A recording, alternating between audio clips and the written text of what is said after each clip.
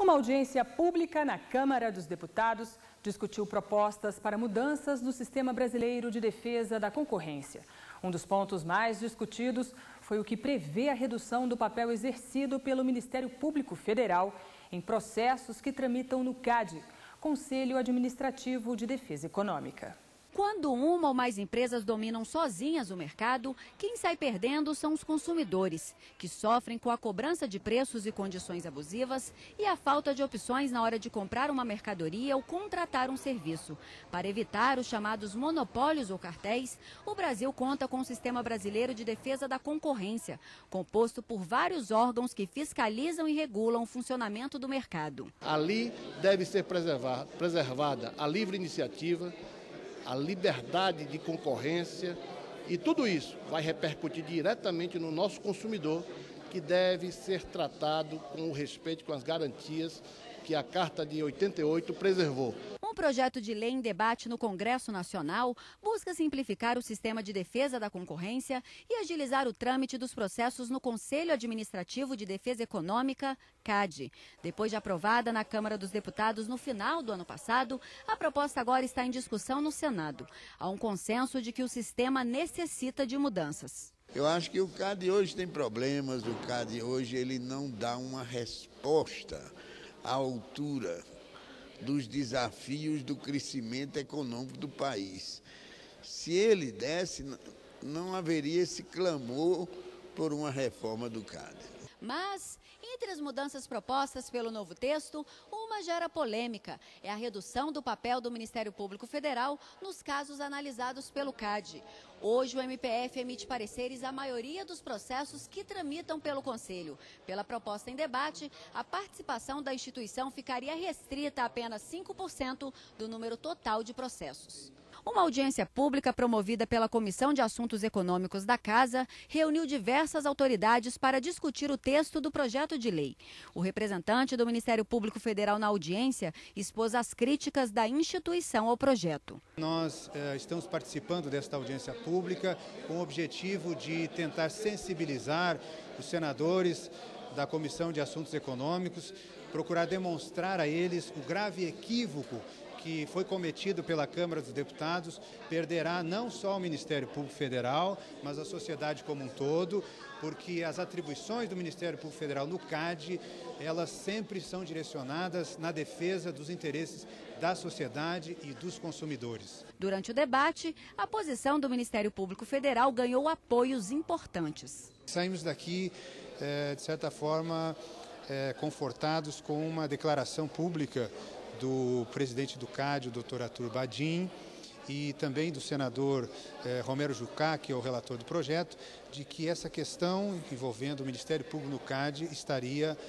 resolvida. Ou seja, a promessa é de que aqui no Senado eh, deverá ser alterado o texto do artigo 20 do projeto, no sentido de garantir ao Ministério Público Federal a atuação em todos os processos e procedimentos eh, do CAD.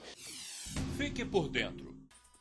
A atuação do Ministério Público Federal nas questões de ordem econômica busca proteger sempre os direitos dos consumidores. O trabalho da Procuradoria da República também visa garantir direitos constitucionais, como os da liberdade de iniciativa, livre concorrência, função social da propriedade e repressão ao abuso do poder econômico. A criação de um comitê permanente pode ajudar a tornar mais eficaz o combate a um crime contra a dignidade humana, o tráfico de pessoas. O grupo é formado por diversas instituições. Falta de perspectivas, busca de um futuro melhor, ilusão. A cada ano, brasileiros e brasileiras deixam seus estados ou o país para tentar construir em outro lugar uma vida melhor. Mas o que muitas vezes seria o passaporte para novas oportunidades pode se tornar uma sentença de escravidão e sofrimento. A pessoa ela pode é, estar enganada sobre a situação do trabalho que ela vai ter lá. Então ela pode saber que ela vai se prostituir, o trabalho, ela vai fazer o trabalho sexual lá, só que ela não sabe as condições disso. Então chega lá, ela tira o passaporte dela, ela não pode sair, ela não recebe pelo trabalho. Ela pode saber que ela vai ser empregada doméstica e chega lá, ela é escravizada. Essas mulheres são sempre enganadas nesse sentido.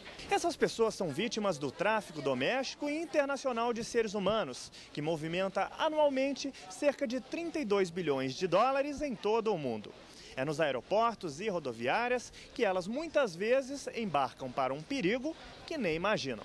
A atividade foi reconhecida pela comunidade internacional como um problema na Convenção de Palermo realizada em 2003 e ratificada pelo Brasil em 2005. A situação atinge principalmente mulheres e meninas, de acordo com um levantamento feito por uma agência da ONU. O nosso relatório mundial eh, detectou que eh, dois terços das pessoas traficadas são eh, mulheres então, 66% são mulheres e um 13% são casos de tráfico de menores, sobretudo meninas, e um 20% é tráfico de hum, exploração de trabalho. Consideramos que uh, os dados que temos hoje representam a ponta do iceberg da realidade do tráfico de pessoas. Ainda de acordo com o um relatório das Nações Unidas no Brasil, os estados de onde sai a maior parte das vítimas do tráfico são Ceará,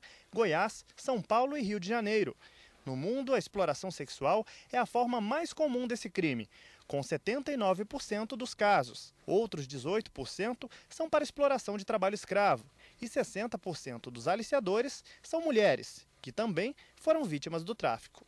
Em São Paulo, o Ministério Público Federal integra um grupo formado por diversas instituições engajadas no combate a esse crime. O Comitê Interinstitucional de Prevenção e Enfrentamento ao Tráfico de Pessoas foi criado para desenvolver ações integradas em diversas frentes o que inclui assistência às vítimas. O comitê realiza ações paralelas às políticas e planos de combate ao tráfico de pessoas do governo federal. O objetivo é criar uma rede que enfrente todos os crimes gerados pelo tráfico, como o aliciamento de mulheres, a exploração sexual e o desrespeito às leis trabalhistas. No Acre, o Ministério Público Federal e o Ministério Público do Estado entraram na justiça para tentar acabar com as queimadas. A ideia é não permitir o uso de fogo por produtores rurais. A ação é inédita no país e poderá servir de base para outras iniciativas que levem à proibição definitiva das queimadas na Amazônia, causadas em grande parte pela ação dos agricultores. Em Santa Catarina, a Justiça concedeu liminar em ação proposta pelo Ministério Público Federal. A decisão proíbe a Fundação do Meio Ambiente de conceder licenças ambientais para novos empreendimentos de mineração de carvão na região de Criciúma, sem parecer técnico de equipe multidisciplinar. A licença tem que ter a aprovação de um grupo de profissionais, como engenheiros, biólogo e geólogo. A medida visa proteger o meio ambiente no sul do estado. Em São Luís, continua a valer o embargo às obras do residencial Casa do Morro, expedido pelo Ibama. A decisão é do Superior Tribunal de Justiça, que acatou o pedido do Ministério Público Federal. O STJ cassou liminar concedida em primeira instância e mantida pelo Tribunal Regional Federal da Primeira Região. De acordo com a ação, a construção é irregular, porque o imóvel está em área de preservação permanente. Veja no próximo bloco. Pedida na Justiça autorização para contribuinte deduzir do imposto de renda todos os gastos com educação. E mais, no Acre, falta de estrutura adequada em hospitais públicos compromete atendimento a gestantes que decidem ter o filho em parto humanitário.